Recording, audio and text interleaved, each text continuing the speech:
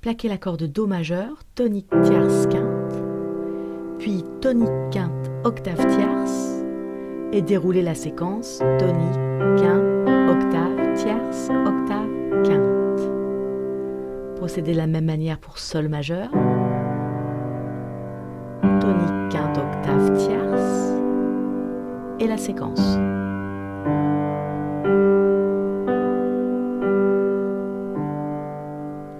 Pour l'accord de La mineur, même chose, tonique, quinte, octave, tierce.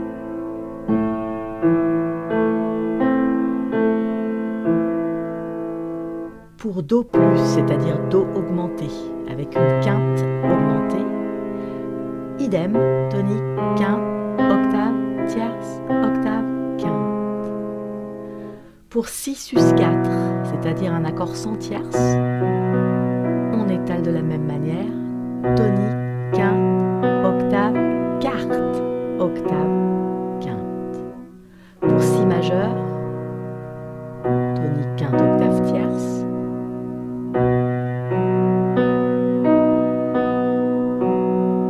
Pour Sol dièse diminué, idem, tonique, quinte, octave, tierce.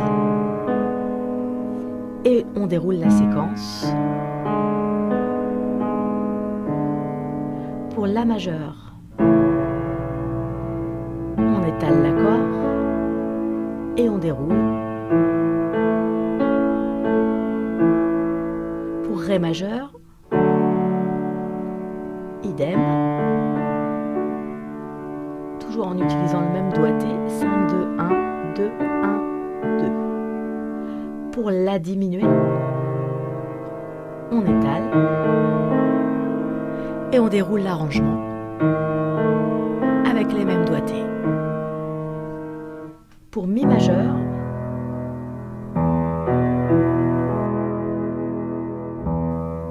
on procède de la même manière.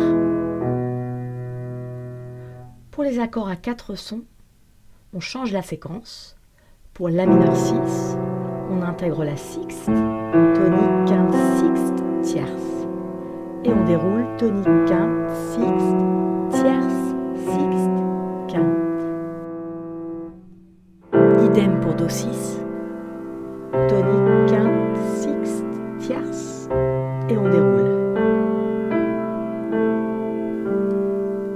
Pour Sol 7, on intègre la septième, tonique, quinte, septième, tierce.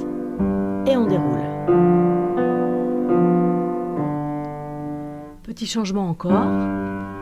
Pour Do basse Sol, on intègre la basse à la séquence.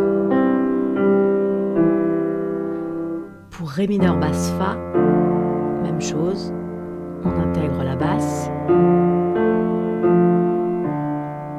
Et pour Sol basse Ré, même chose, tonique, tierce, quinte,